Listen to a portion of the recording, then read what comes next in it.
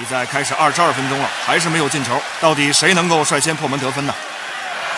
只好快速将球带向球门面对空门打门球进了一比零。现在比赛继续进行。